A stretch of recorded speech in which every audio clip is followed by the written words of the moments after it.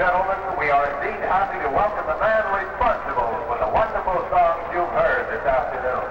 No state could have a more loyal son than Meredith Willson, and at the same time, no son more richly deserves the success and honor which has come his way.